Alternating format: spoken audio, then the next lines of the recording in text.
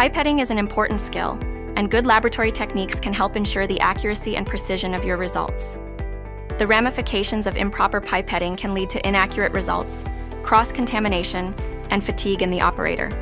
Therefore, using the micropipette with intention and understanding the mechanics is paramount.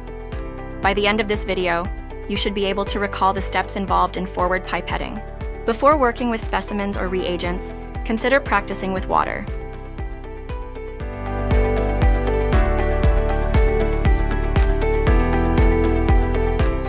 In a clean workspace, don the required personal protective equipment and ensure that your workspace supports good posture, reducing the physical stress and fatigue of repetitive motion.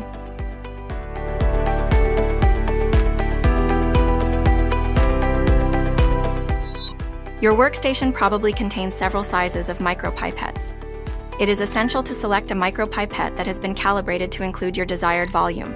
From the pipette stand, identify a clean micropipette that is calibrated within the required range. To transfer 500 microliters, we will select the 100 to 1000 microliters range micropipette. Use the pipette stand when you are not actively pipetting to reduce prolonged heat exposure from your hand.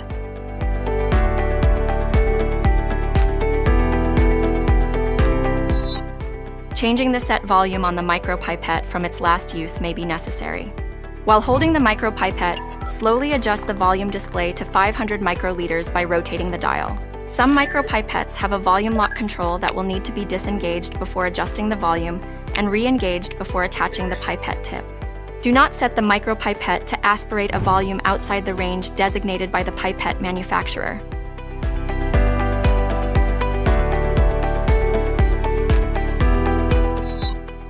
It is essential to select the correct size and shape tip that fits your micropipette and seat the tip securely on the micropipette to prevent leakage. Pipette tips are single-use items. Select a pipette tip that fits your micropipette's specifications. For instance, pipette tips may contain a filter that helps mitigate the risk of contamination.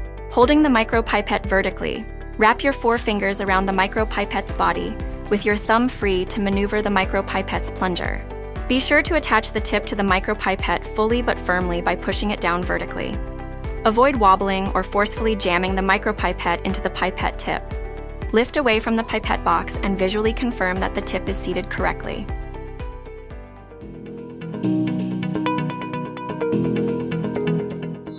Before we transfer buffer A into buffer B, it is recommended that the pipette tip be pre-wet.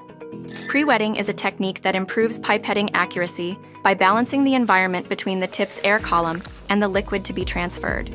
This can be achieved by aspirating and dispensing the liquid to be moved three times. With your non-dominant hand, open the container containing buffer A. Gently depress the top circular plunger button with your dominant thumb to the first stop. Holding the micropipette vertically, immerse the pipette tip just under the surface of the liquid. Slowly and smoothly, release the downward pressure from your thumb until you have entirely released the button and your thumb is no longer pressing down. Again, depress your thumb to the first stop and expel the liquid back into the tube. Repeat the aspiration and dispensing of the liquid using the same pipette tip at least three times before proceeding with the final aspiration of your desired volume.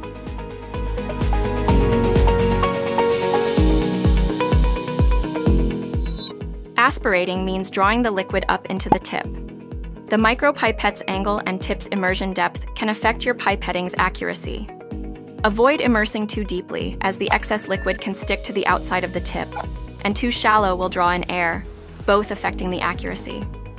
Additionally, aspirate while holding the micropipette at 90 degrees.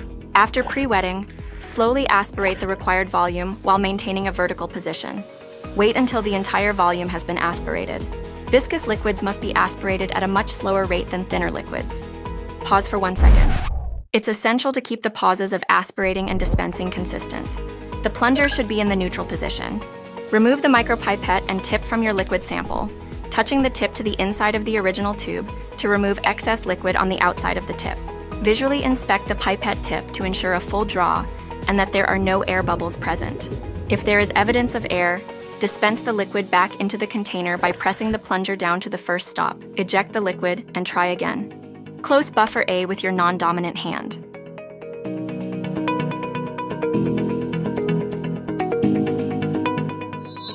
When moving the micropipette containing liquid in the tip, it is essential to minimize cross-contamination. Avoid fast movements or hovering over objects in your workspace. It is also recommended that only one container be opened at a time. With your non-dominant hand, open buffer B. Ensure that your hand holding the micropipette remains stable. With your dominant hand still holding the micropipette, thoughtfully move the micropipette into buffer B to be dispensed.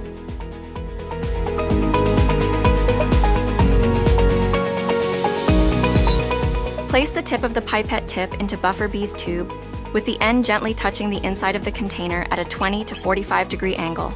Depress the plunger slowly and smoothly with your thumb until you reach the first soft stop. Wait one second. Then proceed to the second hard stop or blowout, where your thumb is pressed down as far as the micropipette allows to ensure the liquid is entirely dispensed from the pipette tip. Maintaining your thumb at the second stop position, slide the tip against the side of the container and lift the pipette tip entirely out of the final container. Release the pressure from your thumb on the plunger to the neutral position. Close the top of Buffer B's container.